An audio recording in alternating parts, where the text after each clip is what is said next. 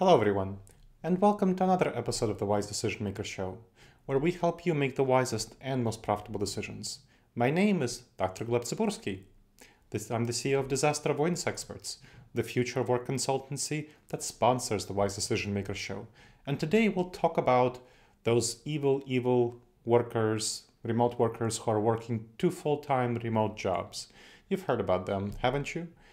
There have been a lot of headlines about such remote workers. The Wall Street Journal had a headline saying that people who work from home have a secret. They have two jobs. The Guardian had a headline saying white collar workers with two jobs is the biggest open secret out there. Bloomberg said that many remote workers secretly juggle two full time jobs or more. So here's the typical structure of such articles. There's usually a remote worker who's quoted who explains how they managed to secure a second job working remotely and the additional income makes the additional hours worth it. There's lots of dramatic escapades about how they managed to avoid getting caught, and usually a cautionary tale of a worker or two who are found out and fired. Now, these articles feed into our narrative fallacy, which is a cognitive bias, a mental blind spot that leads us to see the world through stories, not facts and data. Stories can be useful illustrations of broader patterns in the data, but they speak to our feelings and intuitions without regard to the evidence. They don't show whether the stories are representative of the data or exceptions to the rule. Here's another mental blind spot to be aware of the availability bias. The stories feed into our availability bias, which is a blind spot that causes us to rely on information that's easily accessible in our memory, like those full time remote job holders who have two full time jobs. And such salience of these stories occurs because the articles arouse our emotions, the feelings of unfairness, of how could they work two full-time jobs. And they're especially stimulated by the crime-like elements, the dramatic escapades uh, that where the workers avoided getting caught or got caught and got fired. And here's another mental blind spot called the confirmation bias. So executives and board members often talk about these two full-time about these remote workers who have two full-time jobs. And this is a type of confirmation bias, which is a cognitive bias that seeks information confirming existing beliefs regardless of whether it actually matches the facts. So executives tell such stories. I've heard such stories repeated time and time again when I observe them in C-suite meetings, board meetings, when they call me and talk to me about, well, I don't want to let my workers work remotely because they're going to have two full time jobs. I've heard this all before many, many times. And what I do is I tell them to look at the actual data. So let's take a look at the Federal Reserve economic data. That's FRED. You've probably heard of it. The FRED's goals, the Federal Reserve economic data, is to provide the most accurate information possible. They don't have a bias. Their goal is to help everyone from the Federal Reserve to startup founders to the leaders of large companies make good business decisions, thus maximizing government revenue through taxes. Fred has no interest in promoting in-office, hybrid, or remote work. It's just objective, clear data. So let's take a look at data on multiple job holders in the US workforce, which we get from W-2 data and so on, and from tax data of various sorts from self-employed data. So Fred's research indicates we're at a historically low point in employees holding multiple jobs. The high point was actually around 2000, when 5.8% of all workers held multiple jobs. Currently, only 4.8% have multiple jobs, and just before the pandemic, 5.2% had more than one job.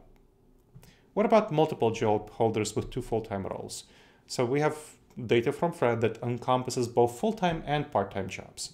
July 2022, 438,000 workers held two full-time jobs, accounting for 0.27% of the total working population in the United States, which at that time was 163.5 million. July 2000, there were 418,000 workers holding two full-time jobs, which accounted for 0.3%. So compared to 0.27% now of all US workers holding two full-time jobs, there was 0.3% in July 2000 uh, because the workforce was larger, 138.8 million. So there were a total of 418,000 workers who had two full-time jobs, but a smaller workforce. Now it's 488,000, but a larger workforce. So totally, in total, a smaller proportion of the workforce holds two full-time jobs now, than held them in July 2000 with very little remote work. So we're not at a historically low period of workers holding two full-time jobs, but near average. Now, so what's the reality of remote workers with two full-time jobs? Headlines suggest it's common for them to have two full-time jobs. Stanford research shows that pre-pandemic 5% of all workdays were remote, now it's 30% of all workdays. So it's a six-time increase.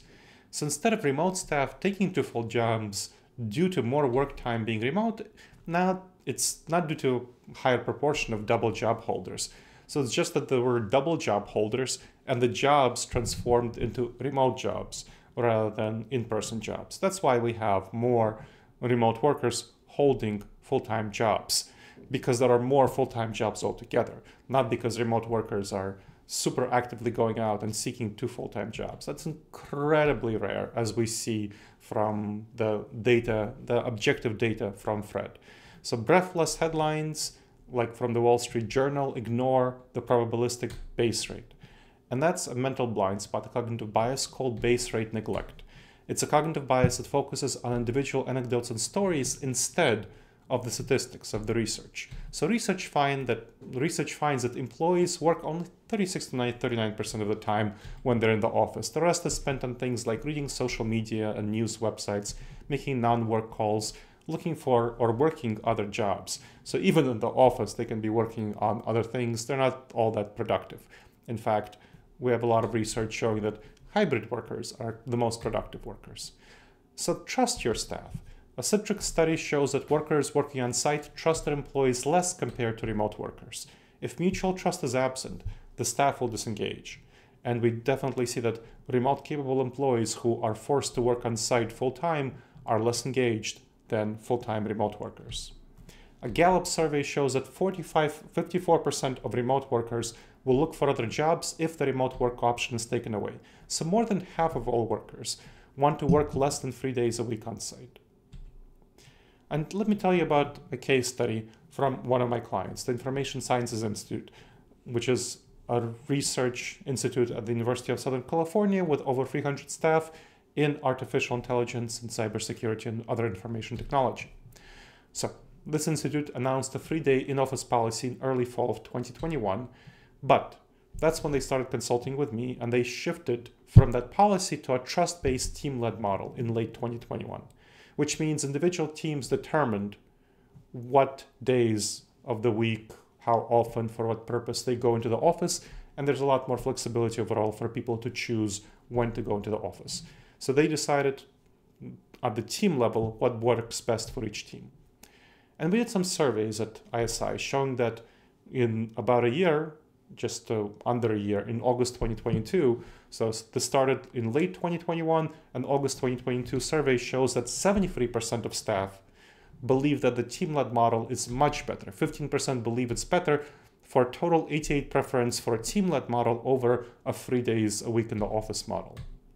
When asked in the survey, would you recommend peers to work at the Information Sciences Institute, 56% said the team-led model makes it much more likely that they would do so. 18% said it would be more likely, for a total of 74% who are more likely to recommend a team-led model.